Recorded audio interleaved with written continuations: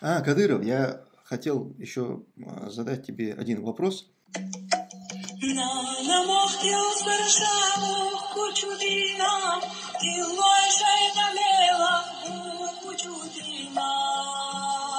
Борз ахил и сидол нохче милу Кадыров. Кто те трусы, которые призывали всех на священную войну против России, а затем перешли на сторону России?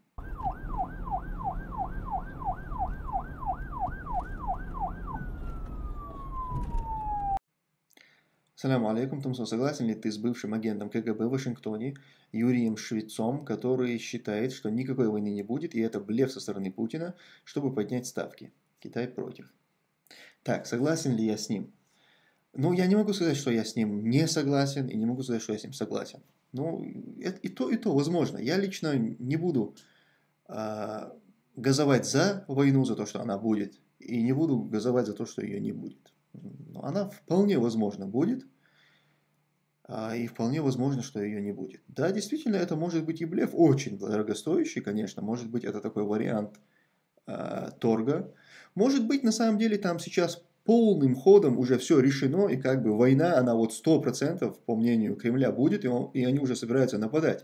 Но завтра что-то может измениться, что-то, как, какая, какой-то фактор может изменить вот эти планы.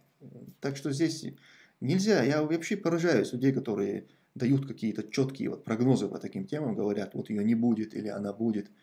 Зачем это делать? Завтра, если твой прогноз не, не сбудется, то тебя постоянно будут этим упрекать. Говорить, что, ну, чувак, ты как бы говорил, что будет вот так, а этого не произошло. Как теперь доверять твоим прогнозам? Я бы лично воздержался от подобных вещей и сказал бы, ну, будет, если будет, мы ее увидим. Если не будет, то, ну, значит, о чем-то договорились, не получилось.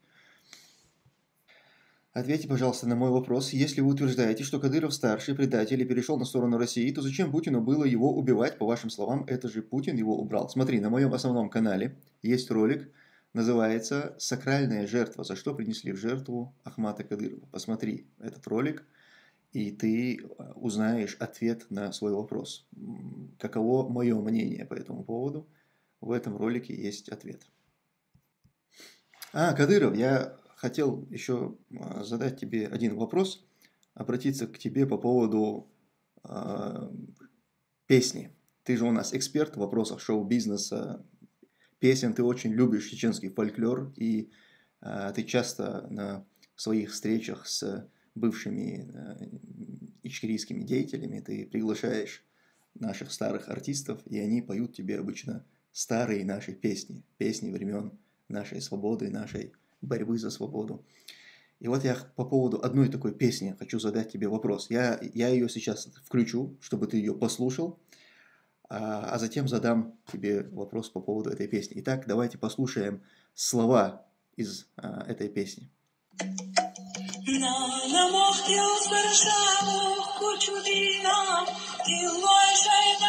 А,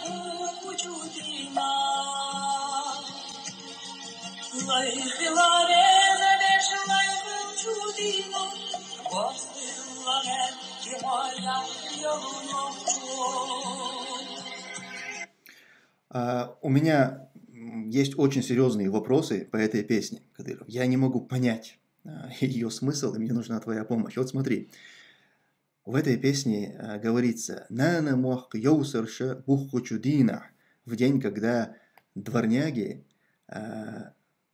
предавали родину, мать родину, килой шей камелах буху чудина, когда в день, когда трусы отступали от э, своих разговоров, то есть от тех разговоров, которые они вели. Лайхила реза верг лайхуль чудина. В день, когда э, человек, тот, кто доволен стать рабом, становился рабом, Борсхиллагаттихо яхьюлу нохчу. Став волком, а, восстал ты достойный чеченец. Вот такие вот слова сказаны в этой песне. И у меня к тебе вопрос, Кадыров. Скажи, пожалуйста, про кого говорится в этой песне? Вот кто? Милу и Хокчо Кадыров. И нена мох йоусарш бух чудина, и мюльшбу и йоусарш. Килой шей камелах буху чудина, мюльшбу килой шей камелах, бяган бол и килой мюльшбу иш, Кадыров. Лейхил резаверг лейхуль чудина, милуи, лейхил резахил, лейхил гмилуи, Кадыров. Борзахил гехтанвол, и сидол нохче милу, Кадыров.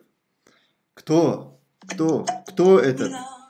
А, кто те трусы, которые не прошли, а, пошли против тех разговоров, которые они вели?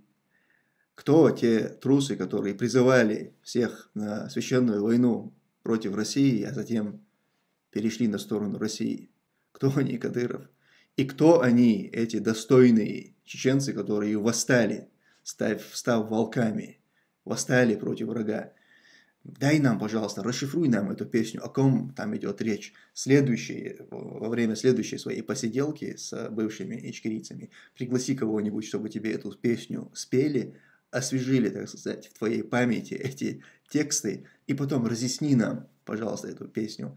А, это вопрос, который нас очень серьезно волнует. Ассаляму алейкум, Тумсо. Можешь прокомментировать, если ты видел видео по ситуации в Швеции, где говорится о том, что у одной сирийской семьи социальные службы забрали пятерых детей? Ва алейкум ассаляму раматулла. Я не видел это видео, но вполне возможно. Здесь, здесь бывают э, такие случаи, здесь вообще как бы частые, не такие частые, как в Норвегии, конечно, потому что Норвегия в основном славится вот этой э, ювенальной юстицией, очень жесткой.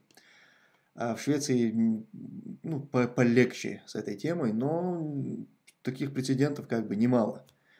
А вот количество детей, э, вы должны понимать, что если, например, в семье пятеро детей, там, семеро детей, 15 детей, неважно, сколько бы их не было, если эта служба узнает о том, что, допустим, родитель избил одного ребенка, применил к нему там силу какую-то, то они не заберут этого одного ребенка, понимаете? Они заберут всех, пятерых, семерых, пятнадцать, неважно, всех несовершеннолетних детей, то есть до 18 лет, они все будут э, у них э, изъяты.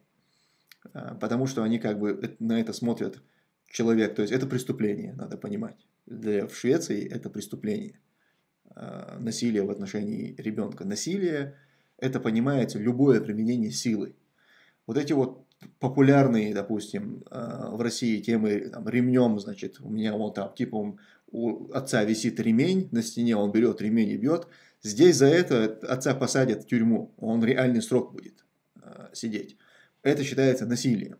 И эти службы это воспринимают, если он одного, допустим, побил, значит он и остальных, он опасен. И, разумеется, забирают всех детей. Поэтому, когда говорят, там, забрали пятерых, это не значит, что они там вот, всех по каждому у них какой-то кейс. Нет, просто они по одному что-то было, все, всех детей забрали. Это распространенная как бы вещь. Здесь, в скандинавских странах, никто подобному не удивляется. Но люди, приезжая сюда, должны как-то подстраиваться под эти а, темы. Здесь, не, здесь себе никто не позволит, короче, применять свои правила воспитания детей, которые ты привык применять там у себя на родине. Поэтому, если кто-то семейный с маленькими детьми собирается переселяться, то ему нужно хорошенько подумать, прежде чем выбрать для себя Швецию, Норвегию или Финляндию. Ему стоит хорошенько подумать, а не заберут ли у него детей, как он, а, как, как, как он воспитывает своих детей. В общем, это очень такой серьезный, серьезный такой момент, который я рекомендую поставить во главе угла и хорошенько на эту тему поразмышлять.